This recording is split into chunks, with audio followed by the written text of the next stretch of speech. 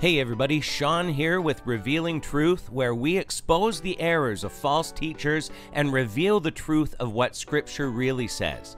Now, it would seem that Sadhu makes up story after story. Please, if you are a follower of this man, don't just focus on the good he says because all false teachers say many good things. But look at the things he says and test them by Scripture. Remember that true prophets of God never had one prophecy that did not come true. Sadhu has many. And today we're going to hear many more fairy tales coming from his mouth. I preached at a pastor's conference. The Lord Jesus cried with tears running down his eyes. So we start off with yet another face to face with Jesus crying and talking to Sadhu. Do you really think that a false prophet is seeing Jesus at all? Never mind how often Sadhu meets with him. He may be meeting face to face with someone, perhaps a fallen angel that is lying. Remember, angels are beautiful and they are out to deceive. And he told me, said, tell the pastors, give my church back to me. That's what he said. Give my church back to me. I want my church back. You are, run, you are running my church like how you like. Give it back to me. Give my bride back to me. That was the earnest, tear-filled plea of the Lord Jesus. Give my church back to me. You know, this is something God is going to do in these last days. You read this in Matthew chapter 21. When he entered into Jerusalem, the first thing that he did, before any preaching, before any signs and wonders, he made a whip and he whipped out every false apostle, every false prophet, every false teacher, every false pastor, every false evangelist out of the temple. Everyone who was building his own empire were kicked out of the temple. So here we have another twisted story about Jesus. Yes, there is one time that Jesus made a whip, and it was when the money changers were using the holy temple of God as a market square to make monies, and Jesus said it was a house of prayer. Yet Sadhu starts off saying God is going to do this in the last days. Well, no, Jesus is not going to be walking around with a whip. God is storing up his wrath that will come down on unbelievers at the end of the age. Right now, Satan has been given authority to run this world the way he wants, and God is allowing it. Second, he says that before Jesus did any preaching or any signs and wonders, he made a whip. Now, making a whip had nothing to do with the chronological order of what he was going to do. It was simply because they were disgracing the temple.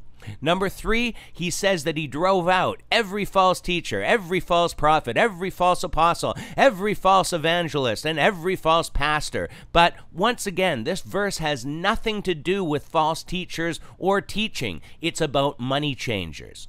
Next, he says, after this, Jesus preached, taught, and healed them all. But if we look at scripture, it only talks about him healing them all. So I just want to point out that this is exactly what false teachers do. They use proper scripture, but then add things in that aren't there. They twist the meanings and make it suit their own teaching and agenda.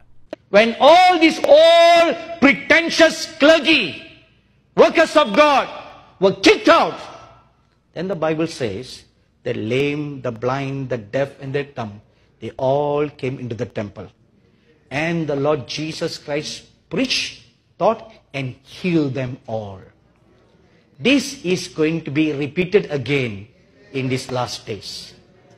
So, those pastors, those leaders who want to be the boss will be kicked out. And God will raise up new leadership. No, God is not cleaning house of all the false teachers like Bill Johnson, Benny Hinn, Kenneth Copeland, and the others that are building up their own empires. He's not replacing them with good teachers. He's allowing this to happen, and as the Bible says, things will get worse and worse, and there's going to be a great falling away, not a restoration of good teachers. This next new leadership will be the faceless, the nameless, and the selfless. It's the nobodies. the children, the youth, the old men, the old woman, they will rise up and do great exploits for God in these last days. So, which means children, youths, old men, old women, ordinary folks, they're all you. I mean, you are going to be the superstars in the last days. For such people are not serving our Lord Christ, but their own appetites. By smooth talk and flattery, they deceive the hearts of the naive. And that's exactly what he's doing. Upon you, God will pour out the powers of the age to come and use you mightily like never before history has ever witnessed. That is why you must get ready. But remember one thing when God pours out His glory upon you, don't make the mistakes of your forefathers. Don't make the mistakes. Don't take money for the anointing of God. Don't take a fee for preaching. Those are all the mistakes your forefathers have done. So once again, he's mixing things up. We can only assume that he's referring back to the story he just told because he wasn't talking about the forefathers charging money for preaching, but he was talking about the money changers. And he's confusing it with false teachers and false pastors. This guy is very clever to use scripture, but twist it up in a way to come up with a seemingly biblical message, but it's his message. It's not what the Bible says. Don't go on the airwaves and ask for a huge sum of millions of dollars to buy a plane when you already have so many planes in your hangar. And now allowing humor on a bit of truth to keep the crowd going.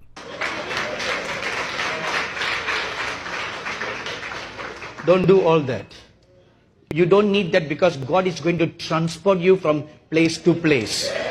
Amen. Amen. He's going to supernaturally transport you place to place. You know, last week I was in Nigeria and I met a bunch of university students who have this supernatural transportation like it's in every common nature to them. These are just university students. They are transported geographically all over Africa and to even other nations in the world to preach and to pray for people. As soon as they finish their work, they are transported back to their hometown. So apparently, God is transporting people like in Star Trek around the world for preaching. This guy is just making up stories, yet nobody seems to have the least bit of concern about such a big claim. If this was true, we would definitely be hearing about it from more people than just Sadhu. My friends, I may be wrong, but I'm pretty confident in saying that God is not transporting people around the planet on a regular basis. But now he's going to turn this into a big joke to keep the crowd's attention. And these kids, I saw them, you know, they have no ass about them. They don't even think about that at all. They couldn't, they, they don't focus on that. They they think it's just an ordinary job that I'm doing. See, that is the attitude you should have.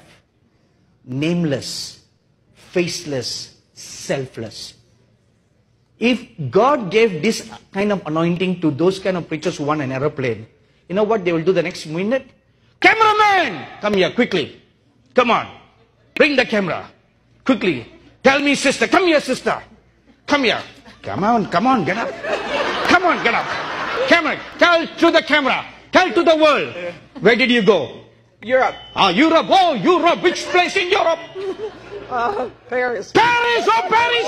Look at this Paris. Oh, Paris. Hallelujah. Hallelujah. Paris. What did you do there? Come on. Come closer. At dinner. Dinner. Whoa. Whoa. Come on, everybody. Say hallelujah. Hallelujah. Hallelujah. How many of you want this experience? Come on, put up your hand. Okay. For a thousand dollars. For a thousand dollars. How many thousand dollars? Come on. You sit down. Poor woman, she's lost. Oh, I'm, I'm just enacting a drama. You have seen all these clowning acts, right?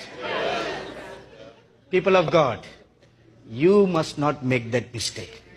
And he's right. There shouldn't be a big show like we see in so many churches today, like Hillsong. But this just takes the focus off his lie about people being teleported and onto an actual truth. Those with eyes and ears can discern the truth from the lie. I pray that God would open all your eyes that see this man as a special anointed prophet of God, because I assure you, he is not. So that's it for today, but remember if you did find this information helpful, please like and share the video and get this information out to those who are deceived. And until next time, take care and God bless.